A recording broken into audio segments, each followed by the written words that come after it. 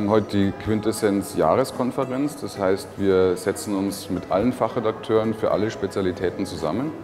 Das ist ein sehr spektakuläres Unternehmen, einmal im Jahr hier in Berlin und bauen den kompletten nächsten Jahrgang der Quintessenz zusammen, was die Themen und die Autoren anbelangt. Das heißt, wir machen Brainstorming über neue Serien, wir machen Brainstorming über neue Themen, die natürlich teilweise schon vorgearbeitet worden sind. Aber das heißt, der heutige Tag ist eigentlich damit komplett bestückt, ähm, die nächste Jahresausgabe, die nächsten zwölf Ausgaben Quintessenz Deutschland ähm, zu designen und zusammenzustricken.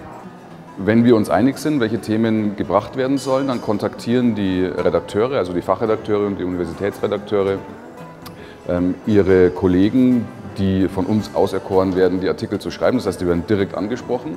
Und in der Regel ist es so, dass sie dann relativ spontan sagen, Quintessenz mache ich. Ähm, also da habe ich jetzt eigentlich in den letzten acht Jahren immer sehr gute Erfahrungen gemacht, dass ähm, auch viel gefragte Referenten sagen, für die Quintessenz mache ich das gerne, das hat eine weite Verbreitung und die Qualität ist sehr groß. Wir machen ein neues Cover, das ein bisschen moderner daherkommt als bisher und da freue ich mich schon drauf weil wenn die Quintessenz 70 wird, soll ja nicht das Cover aussehen wie 70 und von daher ist das ein bisschen modern.